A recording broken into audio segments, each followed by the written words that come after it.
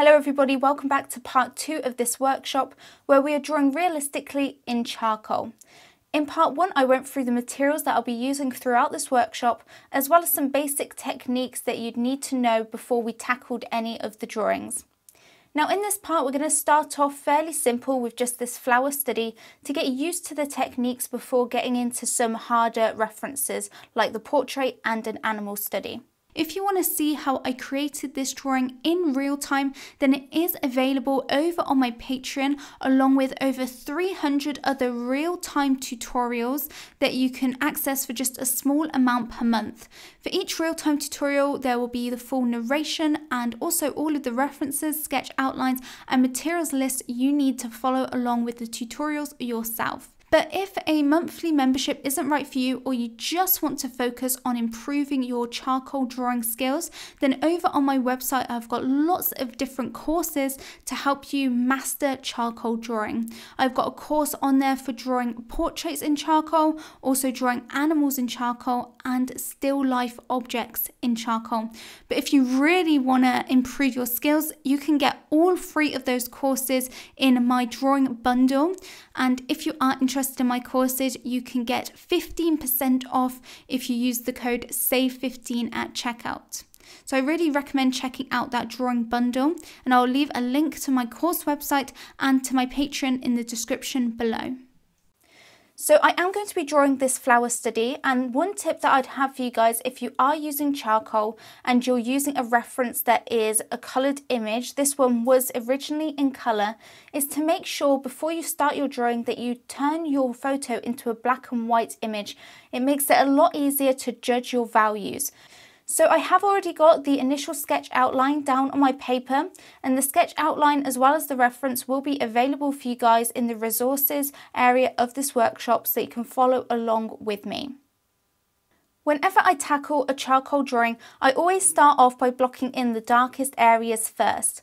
I find that this helps me judge all of the other values if I've got the darkest ones placed in the right places to start off with. So if we look at this reference and pick out the darkest areas, we can see that most of the background is very, very dark, as well as some areas in the centre of the flower and the stems.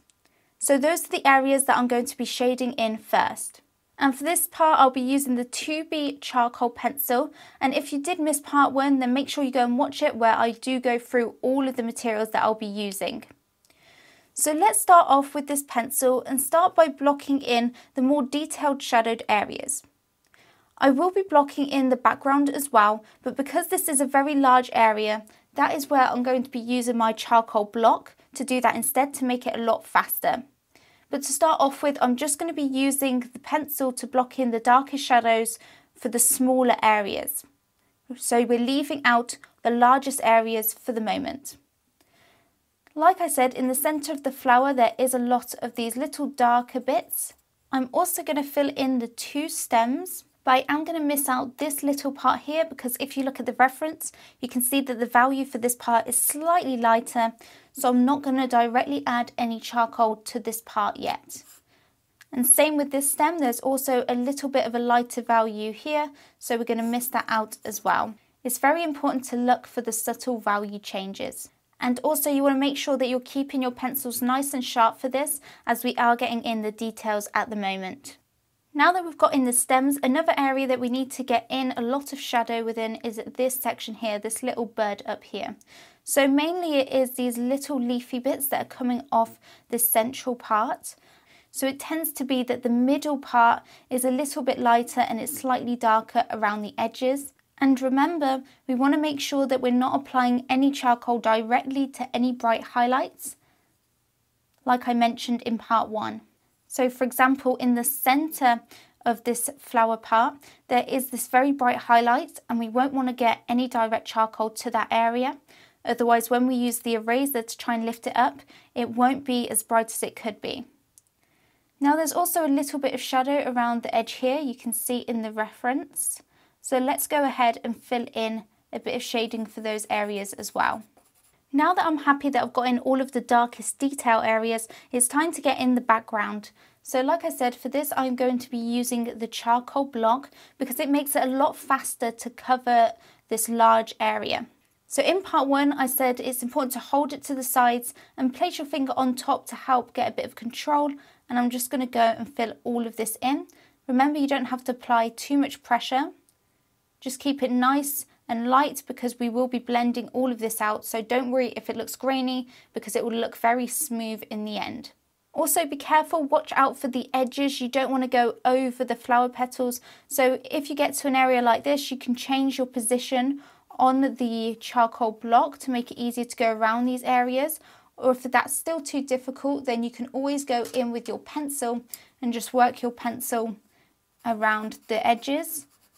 But you do want to make sure that you're keeping a very clean defined edge around the petals because as you can see in the reference, it is a very harsh value change. For this step, you can either go side to side or work in circular motions. It's whatever is more comfortable for you. You can also see that just around the stem there is a little bit of a lighter value. So I'm going to miss out any of the lighter values for now. I'm not going to shade them in with the charcoal block. So you can see that I'm switching over to the 2B pencil to fill in all of the outer edges by the flower petals and also by the stems and the bottom part of the stems as well. Now that I'm happy that I've got in all of the darkest shadows, I'm going to switch over to my H charcoal pencil. So this is the lighter one and it's also got a harder lead which makes it great for details. And I'm going to use this to block in the midtone values. For example, all of these little lines and veins within the flower petals and the shadows between the flower petals and also some of those lighter shadows throughout the background as well. So let's start off with the flower petals. And you can see in the reference that a lot of these shadows are very soft and they're not harsh lines. So you don't want to do any harsh lines. You want it to be very soft. You can also see that the value changes are very gradual. There's no intense, sudden, harsh value changes. You can see that it's a gradient between the different values. And that is because we can see the whole surface of this flower petal. There's only ever harsh changes when something overlaps. So that is why there was a harsh value change between the flower petal here and the background because the flower is overlapping the background. But where you can see the whole surface, it's just going to be a very soft value change. For example, this petal is overlapping this one, so that shadow is going to be a bit more of a harsher edge, whereas all of these little bumps and dips in the petal because we can see the whole thing, they're just going to be very soft transitions. Now within the flower petals, the darkest areas are the shadows between the petals and also this shadow here. And then there is lighter shadows throughout the petals going in lines. And you can see that these lines are curving with the petals. So for example, these are curving this way and then these are going straight down. So it's important to see which direction the flowers are curving in to make it look more realistic. So I'm going to start off first by blocking in the darker shadows, which like I said, were the shadows in between the petals and also the shadow at the top of this petal here. And when you're doing this, you can go in circular motions or use the hatching method and go in lines that are going with the direction of the curvature of the petals. Even though I'm mainly using light pressure, if there is an area that you want to get a little bit darker or a sharper detail, then you can apply a bit more pressure. Remember also to hold your pencil further back and to use the side of the pencil to help control your shading and make it more consistent and even. I also want to fill in the whole of this centre area because this is quite dark in value as well. So I'm lightly going to shade in a bit of charcoal all over this centre portion. And then I'm going to apply a bit more pressure in certain areas in little dots to help darken up more areas and to also add more texture. I'm also just working around the petals as well and adding a little bit of shading because you can see in the reference that it is quite dark around the flower petals and then it does get a bit lighter but I do want to add that little bit of shadow that's directly around the flower petals just to add more contrast to the drawing. Now I'm starting to get in all of those shadows within the flower petals, all of those little veins in each petal, just by going in lines that are going with the curvature of that petal. And I'm being very light when I do this There's no need to press too hard because we don't want any harsh outlines because remember the values are very soft. There's no harsh lines. So keep it very nice and light. And also these veins aren't very dark as well. So I'm going to leave it like that for now, but if we need to go in later and add in any more shadow, we can do. Now it's time to move on to the background and I'm going to look at all the areas that I've left white and just fill in any of the mid-tone areas within those sections and I'll just be leaving the brightest areas white. Again, to do this, it makes it a lot faster if you hold your pencil further back and to the side. It makes it easier to shade in the large areas faster. Now before I go in and blend everything out, I'm going to look around the reference again and look at my drawing and go back in with the 2B pencil and just go over any areas that I feel need to be a little bit darker. For example, the centre of the main flower I think can go a little bit darker. And I'm also going to darken up some edges around the flower petals. So that is it for our base layer of shading and now we need to go and blend this out. So the first thing that I always go in and do is use my brush to actually give it a once over and just blend everything out. So I'm going to go in with my brush and I'm going to use circular motions or when I'm doing the petals I'm going to be going with the curvature and with the veins that I drew with that direction and I'm just going to go and blend everything out. When you're using your brush you don't need to apply any pressure, just go in and dust over everything. You don't need to forcefully do it just blend over everything and don't worry if it's a bit grainy because we are going to be blending out with tissue and also our blending stumps and in some cases our fingers as well just to soften everything out. But I always find that using the brush first is a great way to add a base value across all of those areas that we've left white. For example, on the petals, even though there are some really bright highlights, most of the petals have got some sort of grey value to them.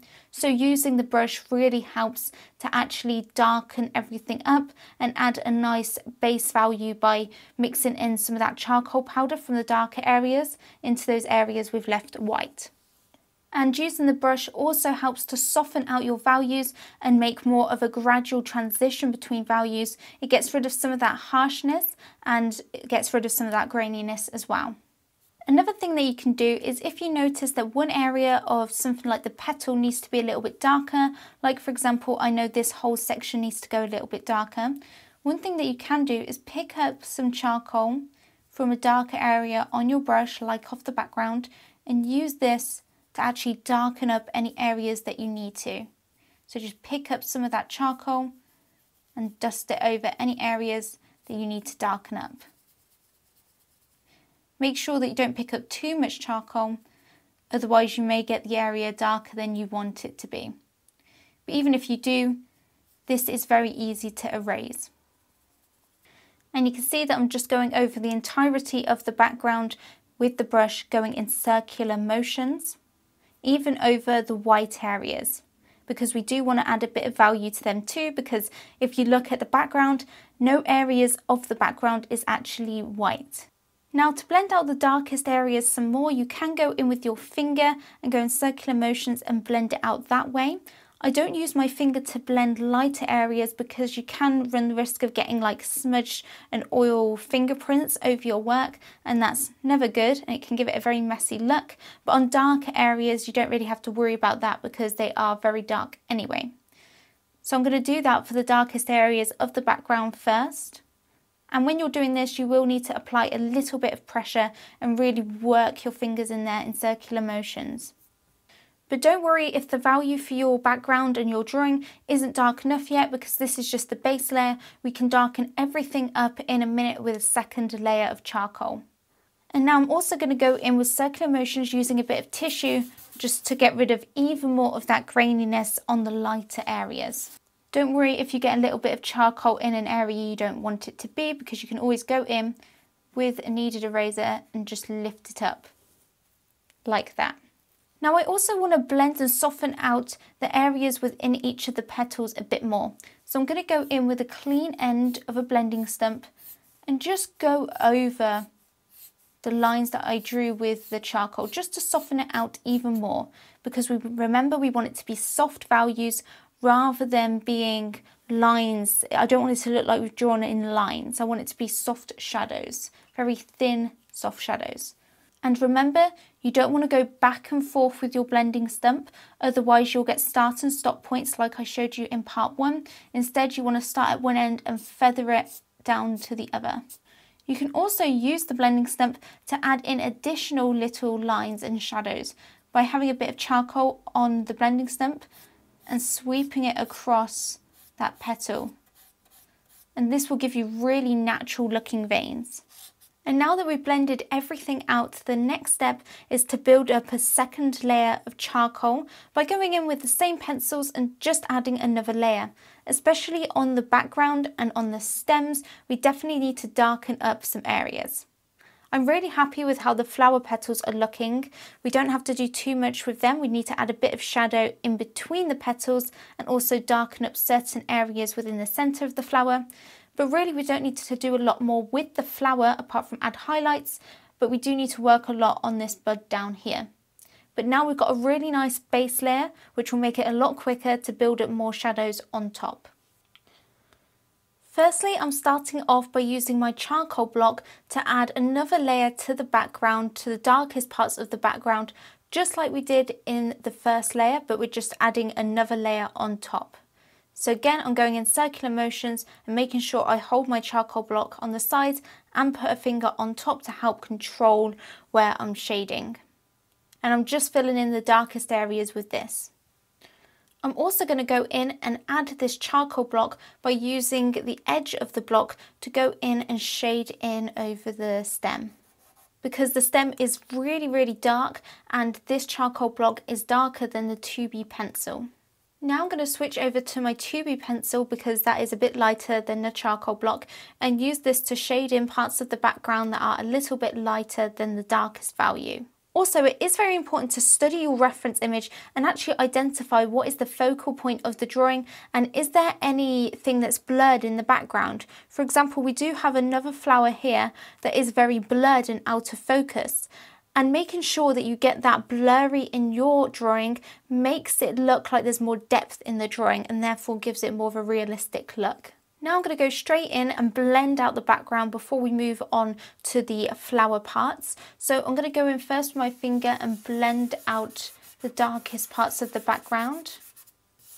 Once again, I'm going to go in with my tissue and just blend over those lighter areas to smooth everything out and to even out the values as well. Now I'm just looking around the background, looking for the darkest shadows, and I'm just going to add one final layer of the charcoal block to those sections and blend them out straight away. I'm also going to darken up the centre of the flower, go over these dark bits and I'm going to tap a bit more shadow throughout the centre of the flower just randomly again to give it more depth and more texture. I'm also going to go in with the H pencil and use this to darken up the shadows in between the petals and to give more of a distinct edge. I'm also going over the shadows once more to make them as dark as they need to be. And I'm going to soften over these petals even more by just brushing over them with my paintbrush. Now it's time to go in with the eraser and finish everything off, neaten up the edges, add the highlights and just add any texture where I need to. So let's carry on with the flower and I want to start off by creating the edges of the flower petals. And what's very good about this one here is that there's already a bit of a highlighted strip all the way around. And I'm going with a bit of a bumpy motion to add that natural crinkly look to the edge of the flower petal. And then I'm going to use the eraser to also create little veins to add even more texture to the petals and to transition the edge here into the petal a bit more so it doesn't just look like an outline. And I'm also looking for all of the brightest highlights and I'm just blocking them in as well. If any area is a bit too bright or harsh, you can just soften over it with the brush. Now I'm going to move on to the next petal. The harder you press on the eraser, the brighter the highlight will be.